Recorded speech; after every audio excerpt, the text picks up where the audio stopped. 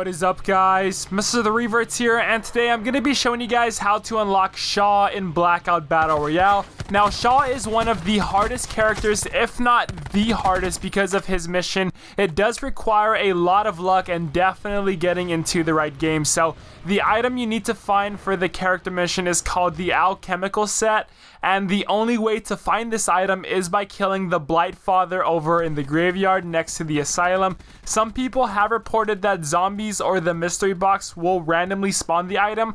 However, I have not yet come across that in the game. I haven't seen any gameplay of that either, so uh, take that with a grain of salt. But also the Blight Father does not always drop the alchemical set, so you do kind of have to get lucky with that. Plus, if the safe zone is not surrounding the graveyard, then you might as well just not even go for this challenge because more than likely you will not kill the Blight Father in time.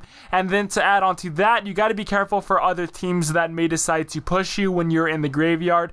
I do recommend playing this with at least a duo. If you happen to go in solo, then it's next to impossible to do this challenge because you will draw a lot of attention to yourself and you have nobody watching your back. So that's where the luck kind of gets played here.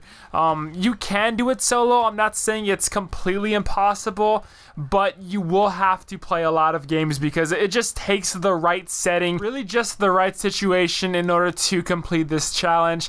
Um, the Blightfather also did get a big buff in Blackout, so he's even harder to kill. So again, I do recommend playing with a friend to get this challenge done. But now, once you have killed the Blight Father, he will drop the alchemical set plus the Wraith Fire and the Acid Bomb. You need these items in your inventory because you have to get at least two kills with one of these two items. And this is also pretty dang difficult. I was lucky because I was able to come across a team inside of a room at the asylum and I was able to pick up those two kills since they were pretty much trapped in that room. So what I recommend doing is try to get a team to follow you inside of a room or a building, preferably inside the asylum because it's close to the graveyard.